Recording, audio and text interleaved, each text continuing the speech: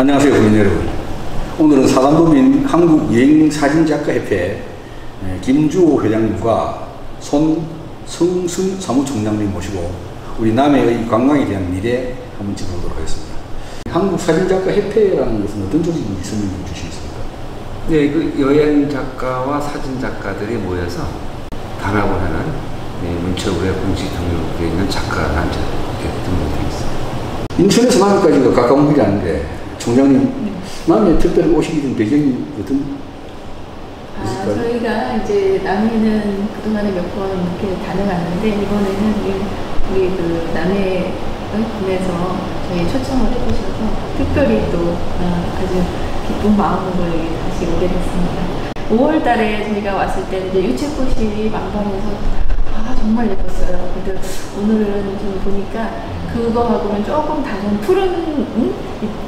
동산이 돼버린 것 같아요 여기가 예, 그때 왔을 때는 이제 노란 유채꽃이 있어가지고 아, 굉장히 설레이고 그랬는데 오늘은 좀 차분한 마음 거기다 또 비까지 내려져서 더 그 차분하게 그 지금 그 둘레길 바랫길을 돌 수 있어서 또 색다른 맛을 느끼고 갑니다.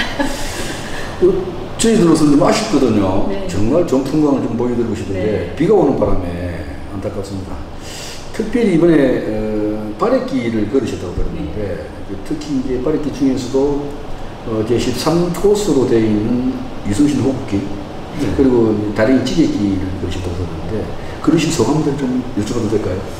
네, 뭐 처음에는 그냥 이순신 순국길이라는 그런 이름만 보고 왔는데 실제 그, 그 길을 걸으면서 우리 해설사님이 아주 명확한 말씀을 듣고 나니까 좀 그 13코스 중에는 특별하게 어떤 이벤트성 이수진 장군의 그, 수, 그 순국했던 그런 그 정신을 그릴 수 있는 좀 그런 좀 테마가 좀 더 있는 것이 좋지 않겠는가 좀 아쉬움이 좀 있고요.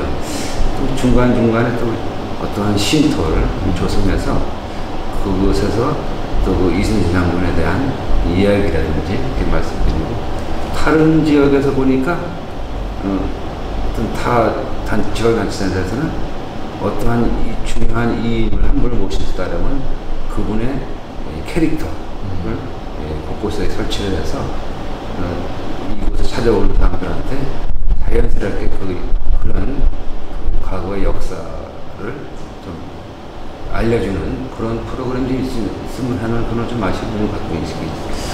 역시 전문, 전문가시니까 바로 지지 되시는데, 어, 그러니까 이제 우리 남해군에서도 이순신 순국길에 대한, 호국길에 대한 개념들을 좀 정리를 하긴 하려고 그래요. 왜냐면 여기가 이제 어, 이 이순신 장군께서 돌아가신 순국을 정말로 장기하게 순국하신 지역인데 이 지점이 이제 충분히 이 피할 수 있는 전쟁이었고 지킬 수 있는 목숨이었는데도 불구하고 조국을 위해서 어, 재발 방지를 위해서 기꺼이 목숨을 내어놓으신 정말 그 이제 영웅의 삶에서 성웅으로 성화가 되는 그런 지점이거든요.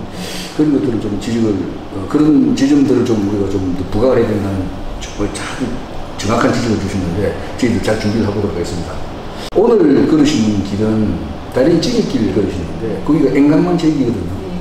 그쪽 종영이 보시기 어떻습니까? 아, 네, 저희가 이제 올 때 그 주로 그냥 그 입구 쪽에서 유채밭 있는 그쪽만 돌았는데 오늘 이제 그 코스를 제대로 이렇게 가봤어요. 근데 이렇게 그 안쪽에 들어오는 그 길이 무슨 뭐 습, 그러니까는 터널 같은 이런 구간도 많고 오늘 우리 회원들이 이제 그 걷다가 뭐 무슨 우스갯소리로 뭐 백두대간을 걸었느니 뭐 이런 그 우스갯소리도 했는데 길 자체가 저희가 그렇게 생각했던 대로 아주 완만하고 그런 게 아니고 난이도도 있으면서 그, 그 바다 해변도 바라보면서 숲이 이렇게 우거져서 어, 더위도 피할 수 있고 참 아름다운 곳이구나 하는 생각이 다시 들었습니다. 이제 그 충분한 외연을 가지고 계신 분들이라서 제 남의 공으로서는 자주 좀 모시고 싶고 또 정말 로 조언도 많이 듣고 싶거든요. 우리 남해가 살아갈 수 있는 방법은 관광밖에 없습니다. 뭐 아시는 것처럼 굴뚝도 없고 공장을 유치한다고 해서 될 것도 아니고 어, 회장님 저희 앞으로 남해 국민들이 뭘 어떻게 준비를 하면 좀 희망하시는 분이 있습니까?